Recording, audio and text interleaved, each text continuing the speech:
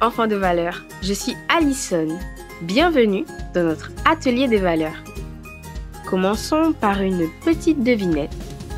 Je suis un animal qui sourit tout le temps.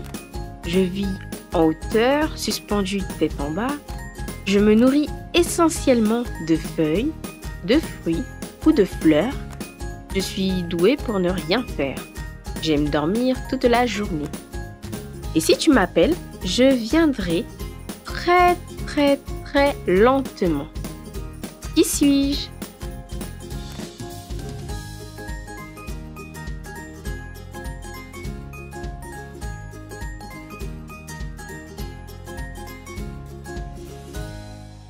Oui, bravo, je suis le paresseux. Le paresseux aime vivre très haut dans les arbres. Il vit la plupart de son temps tête en bas. Il ne risque pas de tomber grâce à ses griffes puissantes et recourbées qui font comme des crochets. Quand il se déplace, ses mouvements sont toujours très lents. Il passe entre 14 et 16 heures par jour à se reposer. Notre ami le paresseux descend de son arbre une à deux fois par semaine environ pour faire ses besoins. C'est à ce moment-là qu'il est le plus en danger. Il se déplace lentement entre les branches des arbres, même lorsqu'il cligne des yeux, il le fait au ralenti. Et si tu essayais, fais comme moi, bouge au ralenti.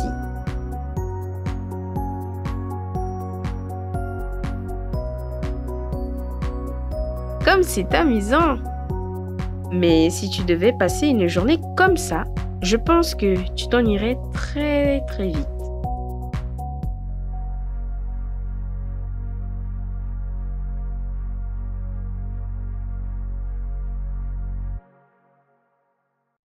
En plus de l'animal, le mot paresseux désigne une personne qui n'aime pas travailler et qui n'aime pas nettoyer ou ranger sa maison. Et lorsqu'elle le fait, elle le fait très lentement. Les paresseux n'aiment pas faire leurs devoirs ou ranger leur chambre. Ils disent toujours qu'ils sont fatigués ou que c'est trop difficile. Dis-moi, es-tu un paresseux? J'espère que non. Si parfois tu es un peu paresseux, il est temps pour toi de changer. Je te propose de devenir travailleur comme l'abeille. Regardons la petite abeille. Pas une minute de pause. Elle travaille.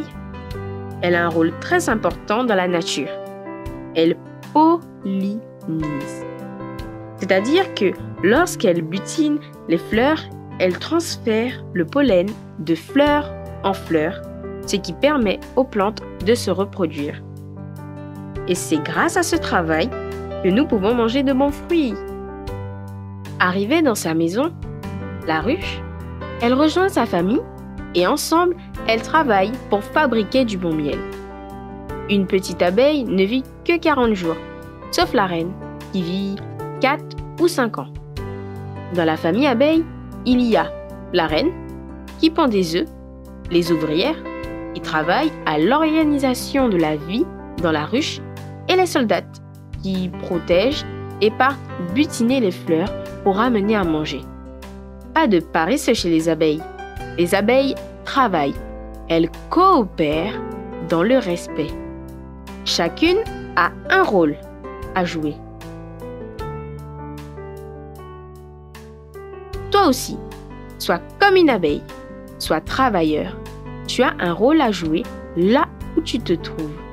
À la maison, aide pour avoir une chambre propre et agréable à l'école, travaille pour avoir de bons résultats et un bon comportement. Tu seras fier de toi.